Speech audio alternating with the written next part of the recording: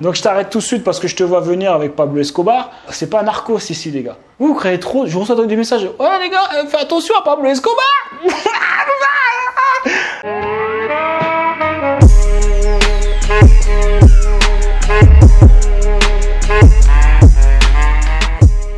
Alors bonjour et bienvenue sur cette nouvelle vidéo. J'espère que les gars vous allez bien depuis la dernière fois. N'hésite pas à t'abonner et à cliquer sur la cloche pour recevoir toutes les notifications.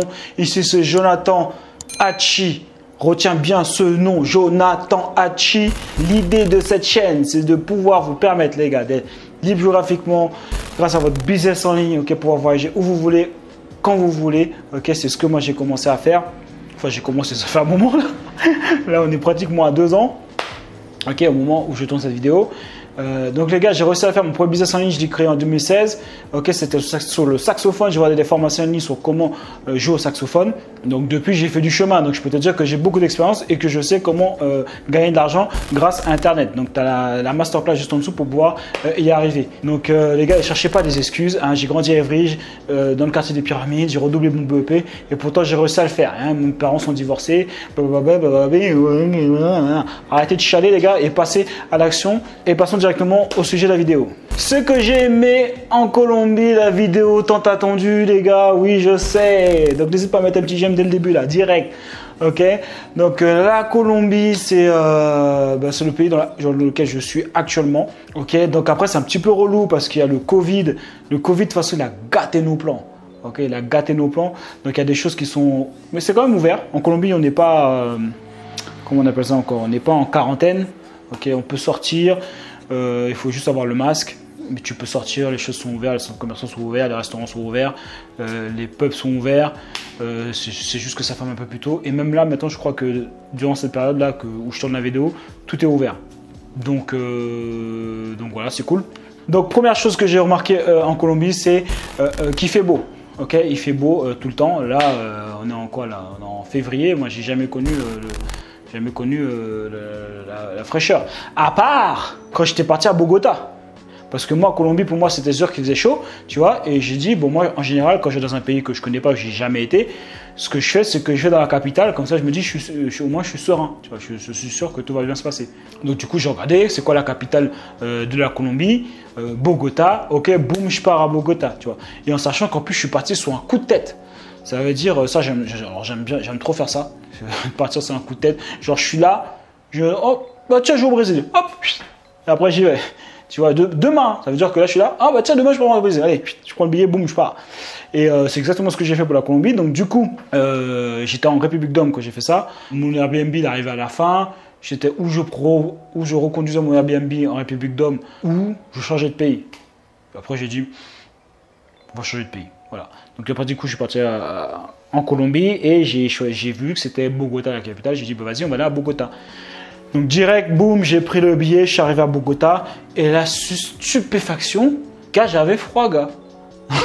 ça faisait trop longtemps j'avais pas senti cette sensation depuis le Canada. Là, je te parle de froid, Bogota, c'est genre, fallait, faut un pull. Tu vois, fallait un pull, mais j'ai plus l'habitude. Moi, j'ai que des t-shirts dans ma valise. J'ai plus l'habitude d'avoir des pulls, des blousons, des trucs comme ça. Et donc, du coup, euh, là, fallait au moins un pull, quoi. Je dis, mais c'est incroyable là, je commence à faire. Comment ça, je tousse là? Incroyable ce truc. Donc, du coup, c'est pour ça que quand j'étais à Bogota, euh, j'y suis resté un mois et après, on m'a dit, mais non, il faut aller à Medellin. Les gens, même sur place, m'ont dit, mais non, Medellin, il fait beau et tout. Après, j'ai parlé avec des gens qui étaient à Medellin, ils dit, mais j'ai dit, mais il faut un blouson un peu le... quand tu vas à Medellin. Ils m'ont dit, non, mais non, qu'est-ce que tu racontes? Je dis, ah, ok, d'accord, bon, ok. Je suis dans le même pays, à un moment, il fait froid, là, il fait chaud. Et après, j'ai compris que Bogota, en fait, c'était en montagne. Donc comme Bogota est en montagne, ben, forcément il fait plus froid. Donc du coup un mois après, je suis descendu, je suis descendu direct euh, euh, à Medellin. Euh, pourtant Bogota c'était cool. Et tiens, ben, du coup, je profitais pour. J'avais même pas prévu de parler de ça, mais du coup, je profitais pour te dire un petit peu la différence qu'il y avait entre Bogota et Medellin. Bogota, il y a plein de magasins quand même. Surtout que moi, j'étais placé en centre-ville, j'étais super bien placé, là où il y avait tout tous les restaurants, un grand centre commercial, il y avait tout autour. Euh, par contre, on aurait dit que c'est une ville qui a fait la guerre et, qui, s'est reconstruite après. Quoi. C'est, ça fait trop bizarre, tu vois. Ça fait pas du tout. Euh, ça fait trop bizarre, enfin, ça fait trop bizarre. C'est, comme ça, en tout cas, tu vois. Et il y avait des problèmes d'internet, par contre. Souvent, j'avais des problèmes d'internet avec à, Bogota, c'était relou. Et il faisait froid. Voilà. par contre, j'étais super bien passé, je payais pas cher. J'avais payé, peut-être, j'étais dans un, un sorte de condominium et j'étais dû payer 600, 600 euros pour un mois. Et j'étais vraiment dans un, immeuble de luxe, super bien placé, dans le centre, à côté, là où il fallait être, quoi, tu vois. genre à pied, je descendais, j'avais accès à tous les restaurants, les pubs, euh, le, centre commercial, la, place où tout, il y avait tout. Donc franchement, déjà par rapport à ça, euh, euh, l'accès au logement est super pas cher quand tu viens avec tes euros, évidemment, toujours, tu vois. Donc c'est pour ça, les gars, je vous encourage à créer votre BS1 parce qu'après, vous pouvez voyager où vous voulez. Et je l'avais peut-être déjà dit dans une autre vidéo, mais je le redis. Voyager, on croit que c'est, il faut être riche pour être voyager, mais voyager, ça te, ça te coûte moins cher que de rester en France pour souvenir à tes besoins, dans, là, pratiquement dans tous les autres pays où tu iras avec tes euros, tu seras toujours plus fort parce que l'euro gifle pratiquement toutes les devises. Euh, et c'est moins cher de voyager que de rester là où tu es. Et donc du coup, boum, je suis allé à, à Medellin et Medellin qui est complètement différent, le paysage est complètement différent, c'est plus chaleureux, les gens sont plus cool, tu vois. Enfin là, je répète ce que les gens m'ont dit, hein, tu vois. C'est les gens qui m'ont dit ouais, les gens de Medellin ils sont plus gentils que euh, genre tu sais ça fait genre comme les gens de Paris et les gens du sud, tu vois. Euh, ici, c'est comme ça, c'est un peu genre. Et c'est un peu la guerre, euh, genre, euh, les gens de Medellin disent, ouais, c'est nous qui, devrions, qui devrions être la, capitale.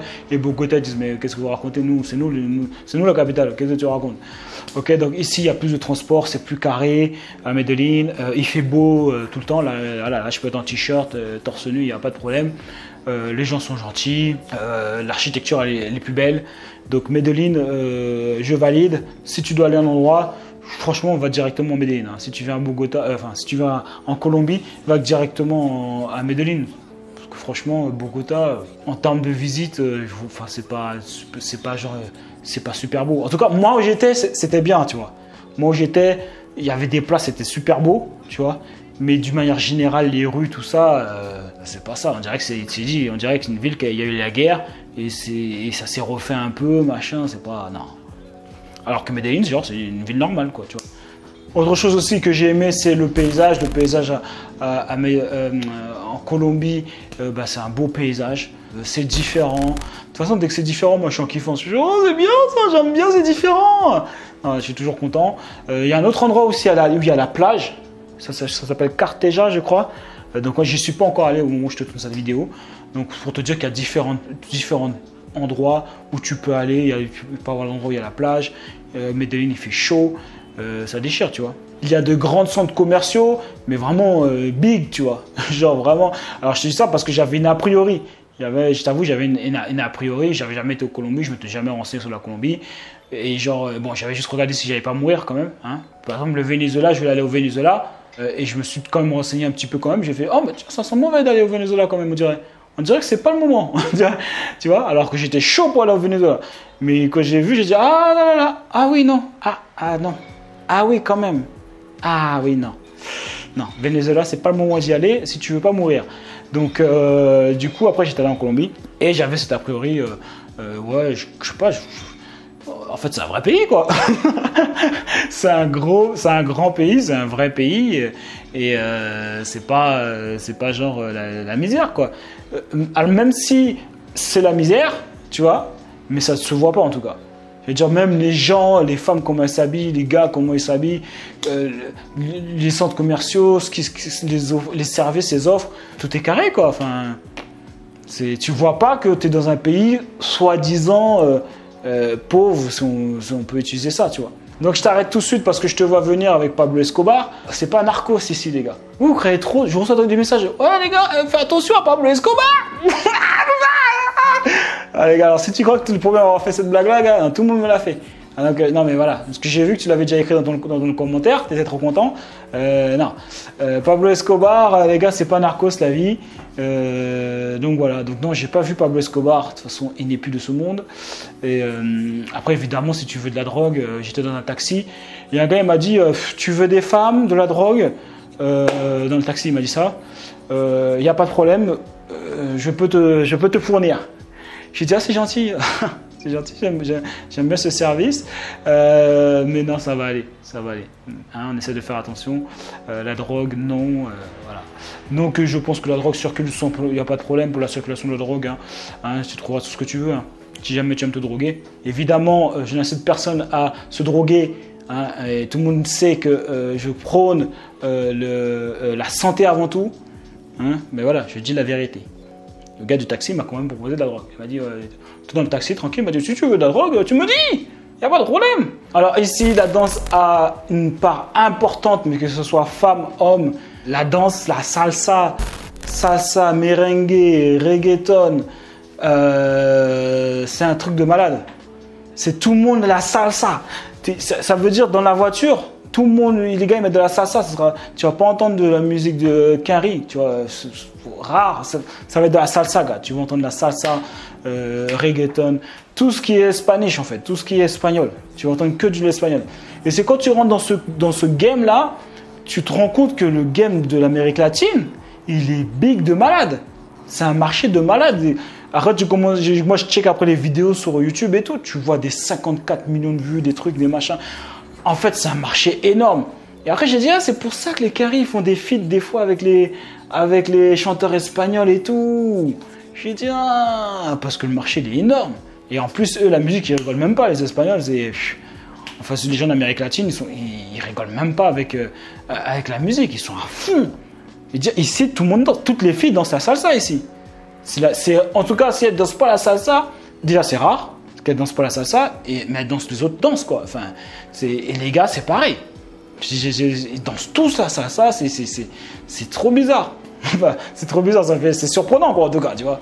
Et c'est là après, quand je suis arrivé ici, j'ai dit ah ok, j'ai compris pourquoi euh, les gars, enfin les, ceux qui sont en Espagne, enfin ceux qui sont à Miami là, je sais pas si tu as déjà vu ma vidéo sur Miami, j'en parlais.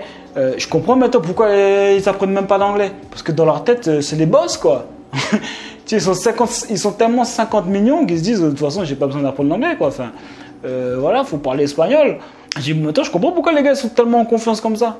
C'est incroyable. Et le dernier point, le point que tu attends depuis le début de la vidéo, je te le confirme, hein, tu en as déjà entendu parler, mais tu sais, des fois, les gens, ils parlent beaucoup. Et moi, j'aime bien voir de mes propres yeux pour savoir la vérité. Donc, oui, les femmes sont belles en Colombie, je te le confirme. Euh, je pense que dans tous les endroits que j'ai fait, bon, je n'ai pas fait en plus 50 millions, mais tu vois, j'ai fait quand même Toronto, Canada, j'ai fait, fait Miami, j'ai fait Atlanta, euh, République Dom. Toi, j'ai pas fait tant de villes que ça. Hein. Après, j'ai fait d'autres villes aux USA, j'ai fait New York. Hum, mais tu vois, finalement, euh, là, comme ça, République d'Homme, j'ai dit Bah, tu vois, j'ai pas fait. Je pensais avoir fait pas mal de pays, mais pas tant que ça, parce qu'en fait, je suis resté beaucoup focus parce que je voulais apprendre l'anglais aussi, c'est ça. Donc, je suis resté beaucoup, je suis resté longtemps à Miami, tu vois. Euh, et je te confirme que la, Colom- la Colombie, euh, c'est là où il y a les plus belles femmes. Donc euh, voilà, Là, tu voulais entendre, tu le sais maintenant, je te le confirme, c'est là où il y a les plus belles femmes. Si tu es dans un délire, tu aimes les latines, les latinas, la Colombie, je te le confirme, je sais pas pourquoi personne n'en parle. Eh ben voilà, je t'en parle, je te le dis. La Colombie, c'est là où il y a les plus belles femmes.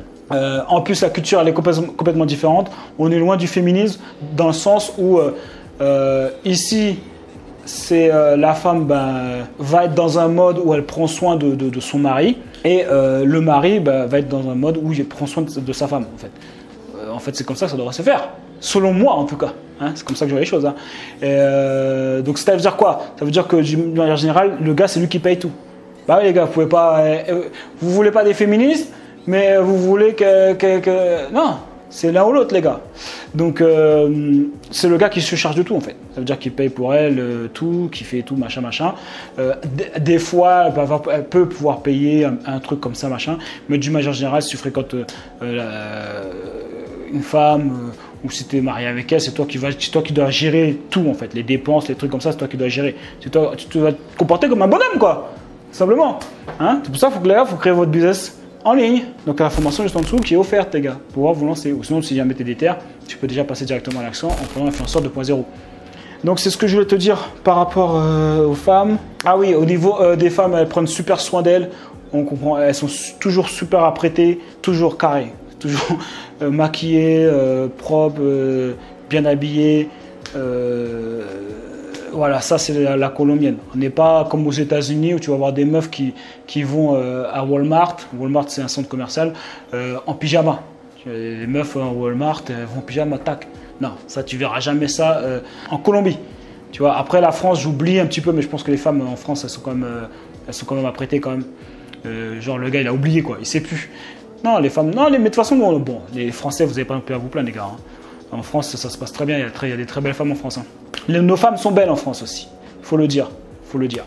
Donc voilà, c'est tout euh, pour cette vidéo, les gars. N'hésitez pas à mettre un j'aime et un j'aime pas parce que euh, t'es vénère parce que euh, parce que t'es féministe, voilà.